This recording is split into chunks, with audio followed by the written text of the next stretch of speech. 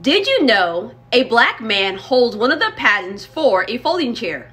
I'm Educator Barnes. Many of you have come across my series, Hoosier Black Excellence, where I focus on black excellence in the Hoosier State. But today, we're leaving the Hoosier State, Indiana, and we're going to talk about a man named Nathaniel Alexander, who is from Virginia and holds one of the patents for a folding chair. Before we talk about Nathaniel Alexander, I want to address this image that's floating around social media. When I saw it, I looked perplexed because I saw multiple people share it and none of those people realized that that's not Nathaniel Alexander. That is a picture of Lewis Latimer, who is black, who is also an inventor. Come closer. We don't all look alike.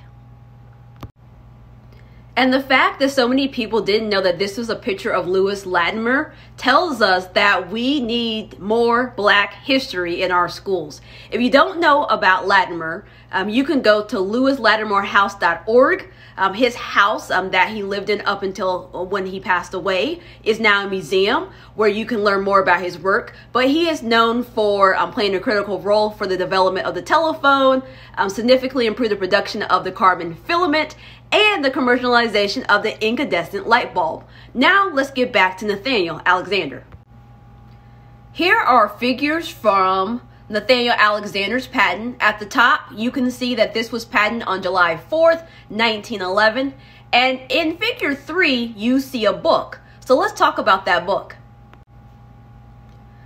Now, ThoughtCo has an article about Nathaniel Alexander, and in the article it states Alexander folding chair is not the first folding chair patent in the United States.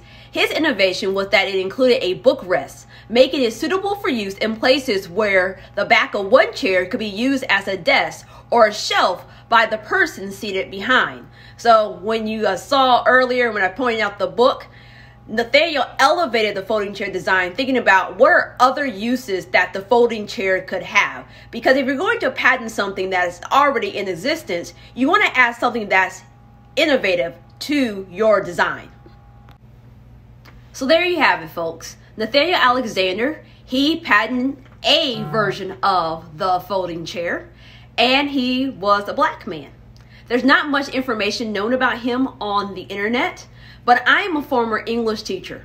So let me give you guys some advice. Don't try to be TMZ. Don't try to get stuff out there first. Stop, pause, evaluate the information. There are so many pictures, memes, GIFs going around social media, and the first thing that we want to do is hit the share button without verifying the sources.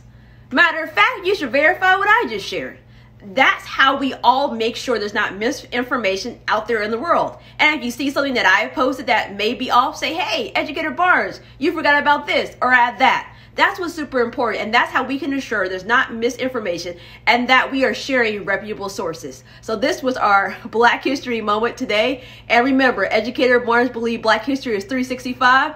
And during a leap year, which there will be a leap year in 2024, it will be 366.